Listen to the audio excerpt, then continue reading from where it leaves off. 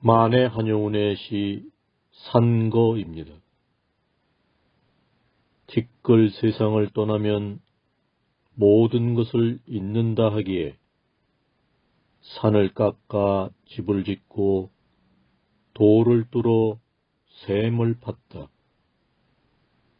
구름은 손인양하여 스스로 왔다 스스로 가고 다른 파수꾼도 아니었만 밤을 새워 문을 지킨다. 새소리를 노래라 하고 솔바람을 검은고라 하는 것은 옛사람의 두고 쓰는 말이다. 님 그리워 잠 못 이루는 오고 가지 않는 근심은 오직 작은 베개가 알 뿐이다.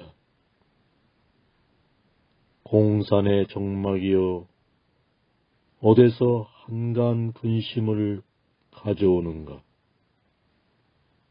차라리 두견성도 없이 고요히 근심을 가져오는 오 공산의 정막이여 한영운의 산거였습니다.